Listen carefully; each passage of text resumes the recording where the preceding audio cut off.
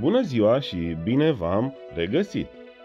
Stimați elevi, în cadrul capitolului Relația consumatorului cu instituțiile bancare și financiare nebancare, veți învăța care sunt criteriile recomandate pentru a alege banca potrivită, mai exact, produsele și serviciile acesteia.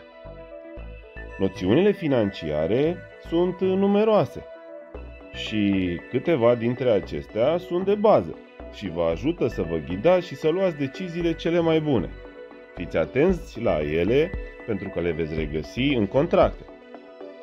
Fiecare dintre noi va afla la un moment dat ce înseamnă cu adevărat dobânda, comisionul, scadența, ce reprezintă contul curent, creditul și alte noțiuni financiare ce fac parte din limbajul comun al relației cu băncile.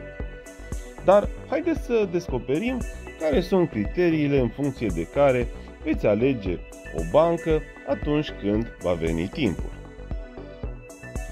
Sunt multiple criterii, multiple uh, opțiuni, multiple avantaje pe care le oferă unele dintre bănci.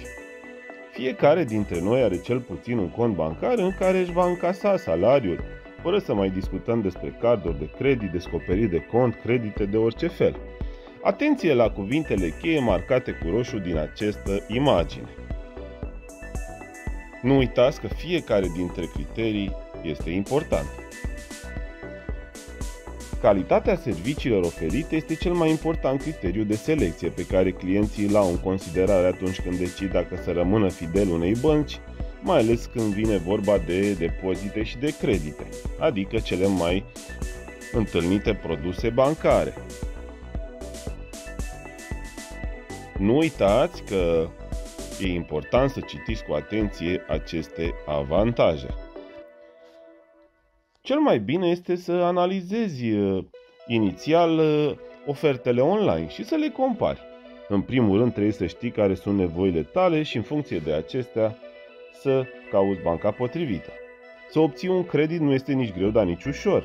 Pentru a alege o bancă potrivită pentru tine, ia în considerare situația ta financiară actuală, obiceiurile bancare existente și nevoile tale viitoare. Mare atenție la riscurile marcate în partea de jos.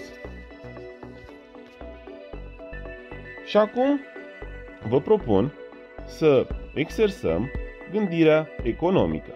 E simplu. Riscuri există și vor exista întotdeauna. Le putem gestiona după ce le-am identificat. Iată două riscuri pe care vi le propun. Păstrarea economiilor în casă și depunerea economiilor la bancă.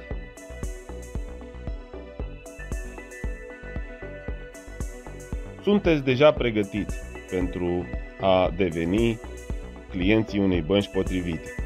Vor urma și alte resurse educaționale dedicate educației economico-financiare. La revedere!